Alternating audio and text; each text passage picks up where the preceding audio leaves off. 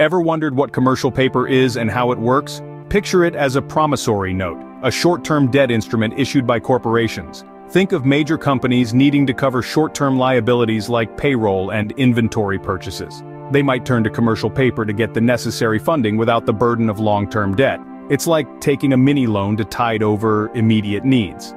Now that you have a basic understanding of what commercial paper is, let's delve a bit deeper. So, what makes commercial paper unique? Let's delve into its key characteristics. First up, commercial paper is a short-term debt instrument, with its maturity typically less than 270 days. This short lifespan makes it a favored choice for corporations needing quick, temporary financing. Second, commercial paper comes in large denominations, usually $100,000 or more. This high entry barrier means it's more suitable for institutional investors rather than your everyday saver.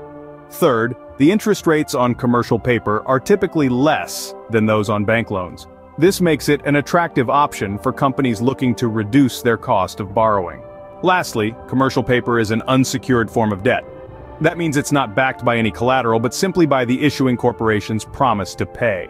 This adds a layer of risk, but also allows for greater returns. These characteristics make commercial paper a unique and valuable tool in the financial market. Still wondering how commercial paper works in real life? Let's look at three examples. Imagine a large corporation, let's call it Acme Inc., in a cash crunch at the end of the month. To cover payroll, Acme might issue commercial paper, effectively borrowing money to meet its obligations. Now consider a retail giant, say Buy More. Buy More might use commercial paper to purchase additional inventory in preparation for the holiday rush. Lastly, let's think about a tech giant, Techzilla. Techzilla might issue commercial paper to fund a short-term research project, say, developing a cutting-edge gadget. As seen from these examples, commercial paper plays a significant role for corporations needing short-term funding. So there you have it, a quick and easy guide to understanding commercial paper. Let's do a recap. Commercial paper is a short-term unsecured promissory note issued by corporations to finance their short-term credit needs.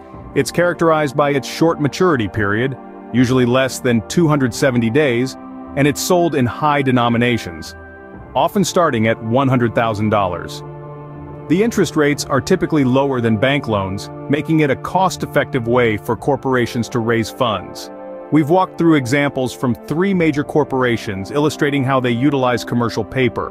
Remember, understanding complex financial instruments like commercial paper can help you make informed investment decisions. Don't forget to subscribe for more financial insights. Thanks for watching.